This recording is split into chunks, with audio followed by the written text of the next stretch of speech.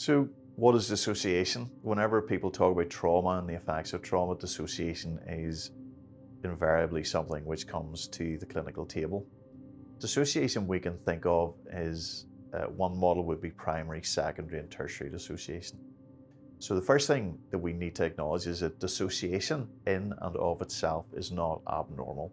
So, primary dissociation is a sort of dissociation that most, if not all, of the listeners will be familiar with.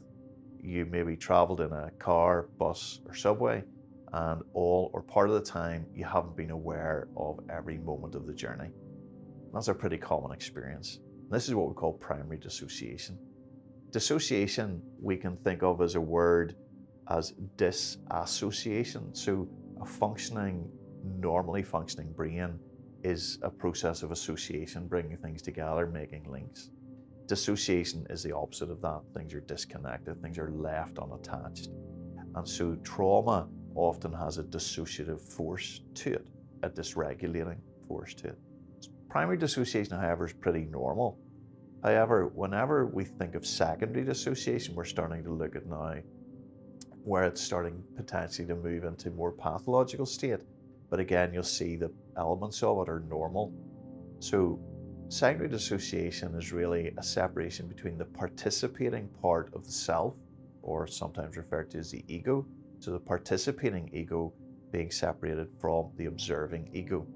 So there's a part of me having a conversation now, talking about this, and there's a part of me that is aware that I'm having this conversation. So those two parts of me exist.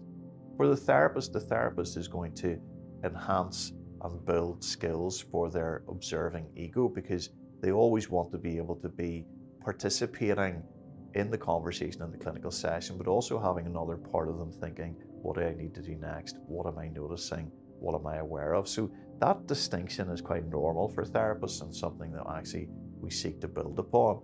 But it can become very distinct and very separate in a dysfunctional way. And that's where we then consider it um, obviously more relevant to the clinical picture.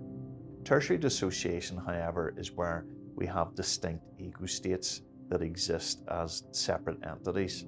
At its most extreme form, we now refer to it as dissociative identity disorder, um, the older name being multiple personality disorder. Um, there's lots of functional neuroimaging which demonstrates that this is um, something which can be measured and something that if we have a person pretending to have um, distinct personalities, that their brain state in the person acting that is very different from a person with an actual traumatic dissociative state.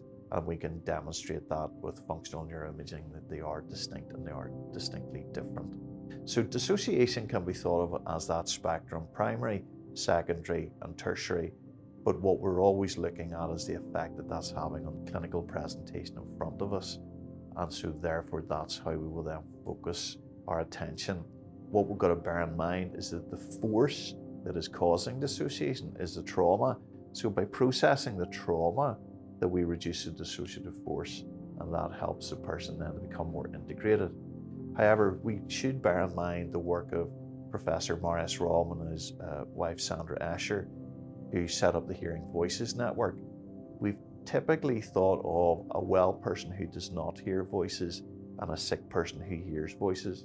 But one of the big things that's come out of the Hearing Voices Network, which Professor Romme invites us to think about, is that actually we can have a well person who hears voices. And so instead of looking at Rick Kluft's criteria where we would be working towards a unitary person, that sometimes people do exist as multiples with a host um, who interacts with the world, but they still have these persisting separate states within themselves, but that can also be functional. So I think we need to think of those three different pieces. A person who hears voices but who is well is something that we need to consider in the clinical picture.